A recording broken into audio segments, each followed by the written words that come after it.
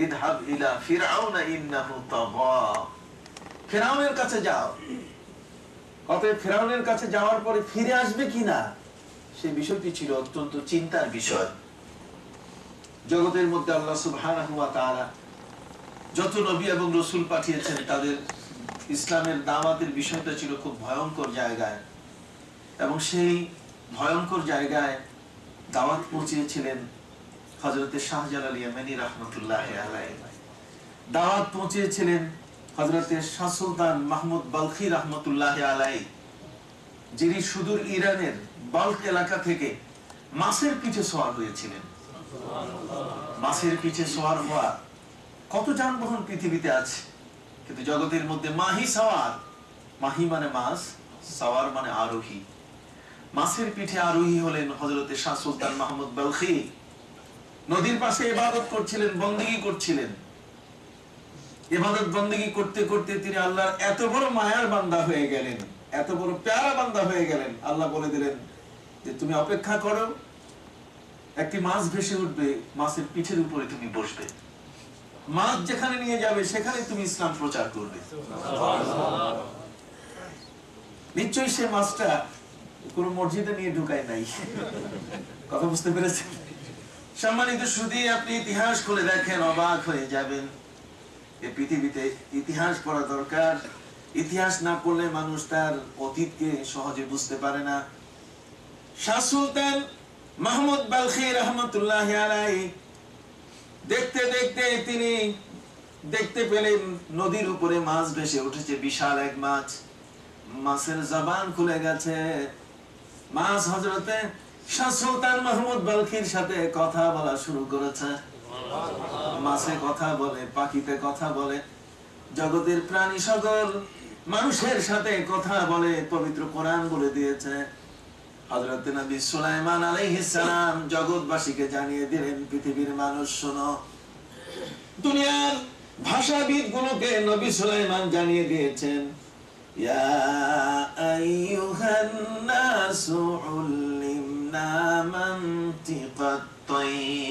হে পৃথিবীর মানুষ তোমরা শুনো আল্লাহ তাআলা আমাকে পাখির ভাষা শিখিয়েছেন। আমি পিঁপড়ার ভাষা বুঝি। জগতের মধ্যে কোনো প্রাণী এমন নাই যার ভাষা আমি বুঝি না। প্রতি প্রতিটি প্রাণীর মধ্যে জড়বস্তুর মধ্যে আল্লাহ ভাষা তৈরি করে দিতে পারেন।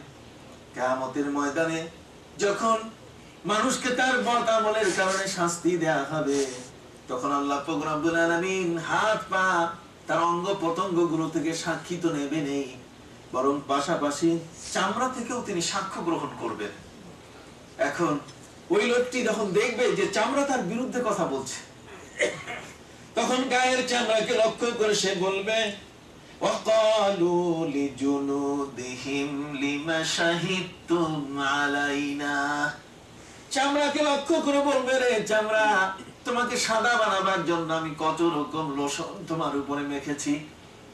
পৃথিবীর মধ্যে কত রকম প্রসাধনী তোমার উপরে আমি ব্যবহার করেছি। তোমার রূপ লাবণ্য সৃষ্টি করার জন্য আমি কোন রকম ত্রুটি করি নাই। অথচ আজকে তুমি আমার বিরুদ্ধে চলে গেলে, তুমি কথা বলতে পারো, আমি জীবনে কোনোদিন বুঝি নাই। তখন চামড়া বলা শুরু করবে কলু।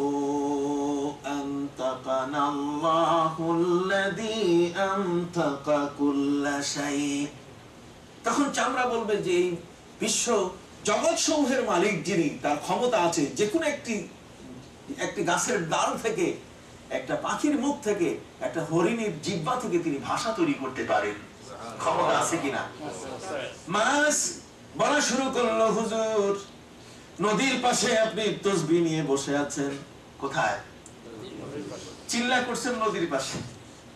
চিল্লা, তার মানে চিল্লা শব্দের অর্থ নিজের নফসকে দমন করার জন্য সব ধরনের সাধনায় ব্যস্ত থাকা। কি বলে ঠিক কিনা? চিল্লা শব্দের অর্থ হচ্ছে আমি আমার আপনজন থেকে কিছু সময়ের জন্য দূরে থেকে আমি যেন আমার নিজের নফস সহ আমার জীবনে যেন আমার যতগুলো ত্রুটি সেগুলোকে অনুভব করে যেন আল্লাহর কাছে আমি নিরিবিলি তবা করি।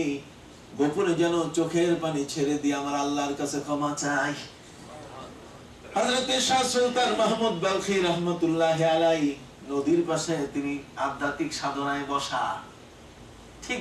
মাছ উঠেছে। মাছ বলছে, হুজুর, আমার পিঠে উঠুন। মাহমুদ আলাই মাছের পিঠের উপরে বসলেন। মাছ এবার তাকে নিয়ে যাওয়া শুরু করল। তিনি মাছকে জিজ্ঞাসা করলেন, রে মাছ, তুমি যাও কই? মাছ বলে, খোদার কসম, আমি জানি না। বড় আল্লাহর ফিরিস্তারা আমাকে যেখানে নিয়ে যাচ্ছে, আমি সেদিকে যাচ্ছি। নিতে নিতে ওই মাছ ঢাকার পদ্মা নদীর আব্দুল্লাহপুর পর্যন্ত নিয়ে গেল। কোথায় ইরানের বল্ক আর কোথায় ঢাকার আব্দুল্লাহপুর সেখান থেকে মাছ বলল যে, আপনি দয়া করে উপরে উঠুন। এতক্ষণ আমি ছিলাম পানির জাহাজ। আর এখন আপনার জন্য আমি অটো কার হয়ে যাব। আপনি আমার পিঠের উপরে বসে আপনাকে আপনার গন্তব্যে আমি পৌঁছায় দেব। সেই মাছ তাকে পিঠে করে আব্দুল্লাহপুর থেকে নিতে নিতে সেই বগুড়ার মহাস্থানগড় পর্যন্ত নিয়ে গেল, যেখানে পরশুরাম একজন জালেম মুসলমানদের উপর অত্যাচার করছিল। আমার, এই বিশ্ব জগতে নবী রসুলদের যেমন আল্লাহ ভয়ঙ্কর জায়গায় পাঠিয়েছেন অলিয়া উলিয়া পীর মাসায়েক যারা তারা ওই ধরনের বড় বড় কঠিন জায়গায় আল্লাহর পক্ষ থেকে তারা সেখানে যাবার জন্য আদেশ প্রাপ্ত হয়েছেন আমি আপনাদের খেদমতে আরজ করতে চাই। এই বিশ্ব জগতের মধ্যে এই ধরনের মহান অলি যারা, তারা যদি আমাদের কাছে না আসতেন, তাদেরকে যদি আল্লাহ তারা আসার ব্যবস্থা না করতেন, তাহলে আমরা এই সুন্দর রসুলের ধর্মটা, ইসলামটাকে আমরা এত পরিষ্কার খুঁজে পেতাম। এমনি তো ভেজাল লাগাই দিছে কত রকম ভেজাল? যত কল্লা তত আল্লাহ। কথা বুঝতে পারছেন? যত মাথা তত মত। কত কথা? এটা নাই ওইটা নাই। তো নাই তো কিছুই নাই। কয় নামাজের আগেও? ফরজ নামাজের আগেও সুন্নত নাই নামাজের পরেও নাই। তার মানে নবী নাই। কথা বুঝতে পারছেন? রসুলকে বাদ দিয়ে জীবনের মধ্যে কোনো ইবাদত করার কোনো সুযোগ আছে? বলেন তো আপনি মাগরিবের নামাজ তিন টাকাত পড়লেন। পবিত্র কোরআনের কোন জায়গায় আছে আপনি দেখান? পবিত্র কোরআনের কোন জায়গায় আছে মাগরিবের নামাজ তিন টাকা কোথায় আছে পবিত্র কোরআনে ফজরের নামাজ দুই রাকাত? কোথায় আছে জোহরের নামাজ চার রাকাত? আসর এশার নামাজ এগুলো চার রাকাত? আমার নবীজি দেখাই দিছে। কন্যা সুভান নবীজি বলেছেন এটা তিন ওইটা দুই। তো নবী না বললে দুই হয় না নবী না বললে তিন হয় না। নবী বলছেন তিন তিনই ফরজ। বলো সুবহানাল্লাহ। নবী বলছেন দুই দুইই ফরজ। নবী বলছেন চার চারই কি?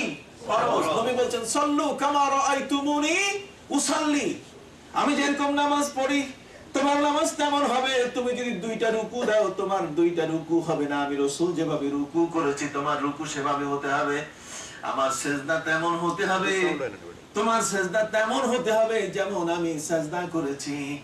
অতএব আল্লাহর নবীর অনুকরণ ছাড়া কোনো ফরজ আদায় করার সুযোগ নাই। কথা কি বুঝতে পেরেছেন? আমাদের সমাজে একদল মানুষ আছে যারা শুধু কোরআনে আছে কিনা। প্রথমে তালাশ করে কোরআনে আছে কিনা। উনি কোরআনের এত বড় পণ্ডিত যে মনে হয় কোরআনের সব আয়াত উনি মুখস্থ করে তুইছে অথচ জীবনে একবারও কোরআন শরীফ ঠিক মতো ভালো তেলাওয়াত করতে পারে কোথায় কোথায় বলে কোরআন শরীফে আছে কিনা। কোন হাদিসের মধ্যে আছে? উনি বুখারি শরীফের হাফেজ। অথচ বুখারি শরীফ এটা এমন একটা মহাগ্রন্থ যে মহাগ্রন্থটি হেফজ করতে গিয়ে পৃথিবীতে, বিশেষ করে বাংলার জমিনের মধ্যে একজন অলি আল্লাহ পাওয়া গেছে, যার নাম হলো মৌলানা ওজিহুদ্দিন সাহেব। মৌলানা ওজিহুদ্দিন যিনি ছয় ঘন্টায় বুখারি শরীফ শোনাতে পারতেন। তিনি সেলসালাভুক্ত একজন ব্যক্তি ছিলেন, হযরত সৈয়দ আহমদ বেরেলভী সৈয়দ আহমদ শহীদ বেরেলভী রহমতুল্লাহ আলাইহির ওই তিনি একজন পীরের মুরিদ ছিলেন। কন্যা সুবহানাল্লাহ। তিনি স্বপ্নে দেখছেন, এত বড় একজন আলেম, বুখারীর আলেম। আর উনি স্বপ্নে দেখছেন যে আমি বায়াত হওয়া ছাড়া আমার কোনো উপায় আমি সেই বিষয়টার উপরে আপনাদের কাছে আবার আগামীতে পরশু আমি ধারণা দেব, ইনশাআল্লাহ আমি যে বিষয়টি নিয়ে এগিয়ে যাচ্ছি আজকে, সম্মানিত সুদী জগতের মধ্যে এই ধরনের অজেয় ব্যক্তি, এরা কি? অজেয়, এরা অমর, এরা কি? অমর। এরা আল্লাহর দিনকে প্রচার করতে গিয়ে কোনোদিন নিজের ঘরের মায়া, নিজের বাড়ির মায়া, নিজের জীবনের কোনোদিন আরাম, আয়েশকে তারা দেখেন না। ওই ফুলতুলি দরবারের হযরত শাহ সুফি আল্লামা আব্দুল লতিফ চৌধুরী রহমতুল্লাহ আলাই সাহেব কেবলা ফুলতুলি। তিনি তার জীবনের মধ্যে কোনো আরাম, কোনো বিরাম, কিছুক্ষণের জন্য কোনো বিশ্রাম নেওয়ারও সুযোগ পান আজ যতগুলো মাহফিল হয়েছে, আমি তো বিশেষ করে যে মাহফিলগুলো ইসারে সবের মাহফিল গুলোতে যাই, হাজার হাজার এত মাহফিল বেড়ে গেছে যে ওই মাহফিলগুলো করে এই সাহেবজাদারা শেষ করতে পারছেন না যেটা তিনি একাই করতেন। বলুন না আমি আমার ভাইদের খেদমতে আলোচ করতে চাই। এই জগতের মধ্যে আল্লাহ প্রোগ্রাম আমিন দিন প্রচার করার জন্য যাদেরকে নির্বাচিত করেছেন তারা হলেন আল্লাহর এমন কিছু বান্দা। এই বান্দা তাদের যদি অবস্থান না হতো তাহলে আমরা বিভ্রান্ত হয়ে যেতাম। আমাদের পোশাক আশাক ঠিক থাকতো না। হজরতে কারামদ আলী জনপুরি রহমতুল্লাহ আলাইয়ের মতো একজন ব্যক্তি, তিনি একটা চাল, এই যে চাউল বলে চাল, একটা চাইলের উপরে সুরা ইয়াসিন লিখে দিতে পারতেন। বলেন আল্লাহু আকবার। ধুতি পরা মানুষগুলোকে তিনি লুঙ্গি পরা শিখাইছেন। তিনি মাথার টিকি যার আছে, টিকি উঠাই দিয়ে টুপি পরাই দিছেন। টিকি উঠাই দিয়ে টুপি পরালেন, ধুতি উঠাই দিয়ে লুঙ্গি পরালেন। এ ভাই না কলেমা চিন্ত না কলেমা তিনি